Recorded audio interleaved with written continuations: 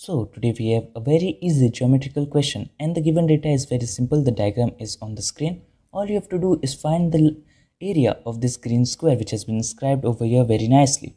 So this problem is very easy and has a very nice way to be solved using trigonometry. So let us see the solution.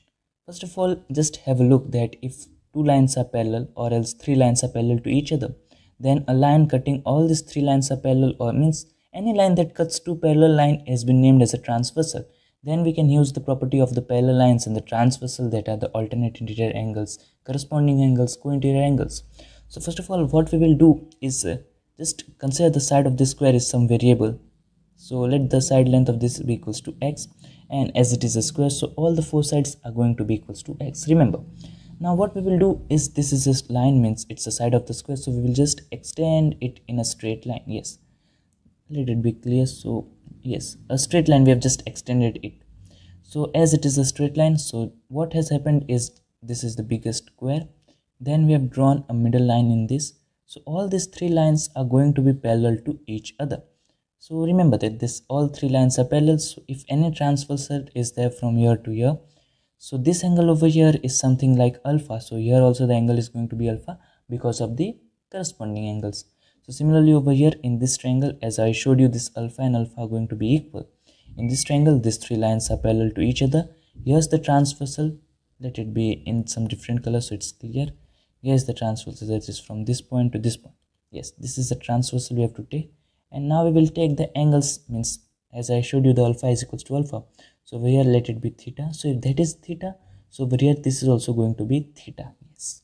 Now the second point side of the biggest square is 2 so here also it's equals to 2 this is the midpoints because of that this length from here to here becomes 1 now in this biggest right angle triangle right angle means here it's 90 degree. So if there is 90 degree here also it's 90 degree and here also it's 90 degree yes. So now in this biggest right angle triangle that's from this point to this point and in this. In this biggest right angle triangle what can you say about the value of tan theta so value of the tan theta is opposite upon hypotenuse, not sorry, opposite upon the base. So opposite is 2 and base is equals to 1. So from here we get that the value of tan theta is equals to 2. Yes. Now again we can have that theta is present in this smaller right angle triangle that's over here. Let the color be changed. Yes.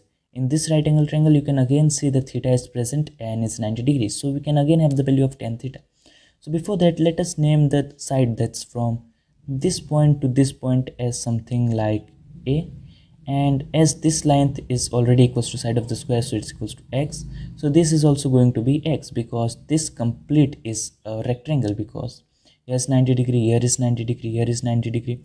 So all the four sides are 90 degree. So opposite sides become equal first of all. So if this was x so that becomes x. So we have the that side is equals to x and base we have taken as a so in this smaller right angle triangle, the value of tan theta would be opposite that is x and base that is equals to a. And already we have the value of tan theta that is equals to 2 and now we have the value of tan theta that is x upon a.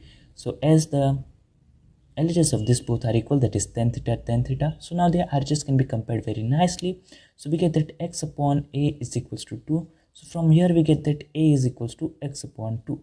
So yes, from here we obtain that a is half the value of x so i will just replace a with x upon 2 yes. So a has been replaced as x upon 2 and this much length is already equals to x because it is the side of the square. Now what can you say about this remaining length over here? So just have a look that this complete line that's from here to here is exactly equals to the this complete line. And this complete line has already a length that is equals to 2 because it is the side of the biggest square. So a total line is there of 2 and in that some part is equals to x upon 2 some part is equals to x and the remaining part let us name as b. And it's already given that this complete line is equals to 2 so we have that addition of this 3 is equals to 2 so let us have this equation. So x plus x by 2 plus b is equals to 2 so from here we get that b is equals to 2 minus 3x by 2 yes. And b is nothing but this external means this extra line over here so this is b and we got that it's equals to this thing that is 2 minus 3 times x upon 2 yes. Now let us use the data why this circular sector has been given. So only thing from the circular sector we can have that yes means from its center if i will join to the boundary all these lengths are going to be equal to the radius and its radius is equals to 1 from because this point to this point it has been drawn so its radius is equals to 1 yes. And its radius is equals to 1 so this is the center and I will join to this point. So center to the boundary. It forms a radius and it has a length equals to 1 yes. This much length is already equals to b. The hypotenuse we got 1 now what can be the value of the side length? So just removing this 2 from the here and writing it a little bit back. Yes. So this is 2 from this point to this point it's already equals to x because of this green square. This is x. This is x. That becomes x. Similarly over here this much length will become x so this complete is 2 this much is x. So from this point to this point that is from till here it's going to be 2 minus x. So we have a final right angle triangle. Let it be over here. Yes. So we have a final right angle triangle. Hypotenuse is equals to 1 base is equals to b. That is 2 minus 3 times x by 2 and the side is 2 minus x. Yes. B is equals to 2 minus 3 times x by 2 remember. And this we will just apply a Pythagoras theorem then we will have a single equation in terms of x so it can be easily solved. So let us do that. So according to the Pythagoras theorem the side square so 2 minus x the whole square that is 4 plus x square minus 4x plus the base square so 4 plus 9x square by 4 plus not plus minus 6 times x is equals to 1 so now let us add this all and take the LCM so 13 times x square by 4 minus 10 times x positive 4 positive 8 and positive 7 is equals to 0 now take the 4 so 13x square minus 40 times x plus 28 is equals to 0 the 4 has been taken as the common LCM then it shifted with 0 so 0 over there. Now let us factor it out very nicely as it is a quadratic equation. So what I can see is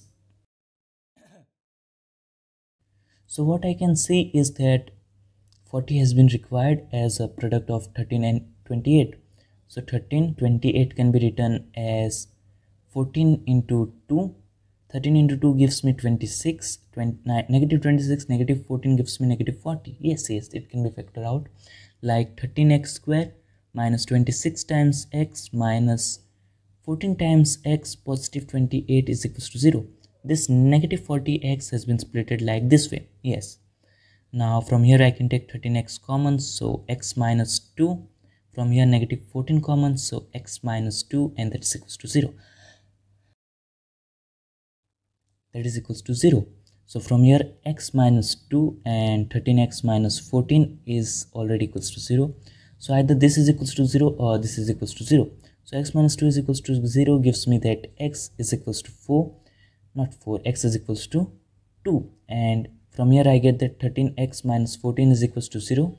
So x is equals to 14 upon 13. Now the point to be noted is that 14 upon 13 is going to be something like 1.0 1.0 something something like that way. And here we get that x is equals to 2 now according to this geometrical diagram x is a segment.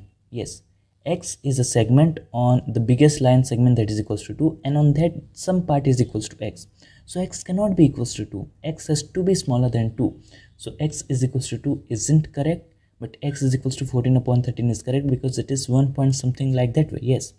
And you can see over here also that x is on the line segment of 2 so it has to be smaller than 2 so we get that x is equals to 14 upon 13 and it was to be found that the area of the square so area of a square so area of a square is the side and its square so side of this green square was x. So x square is 14 upon 13 the whole square. So 14 square is 196 and 13 square is 169 and its unit the whole square. And that's the area of this green square and that's our answer. That area of this square is 196 upon 169 this problem was very easy to be solved and it is a very nice way using the trigonometric method. Don't be afraid of trigonometry. It can be used anyway and if you have any other method other than this which is very nice short and sweet you can do comment below or else you can dm me on my instagram. Link is in the description. If i found that problem very nice means that solution very nice and cool i will share it with our viewers so that the, it can spread the knowledge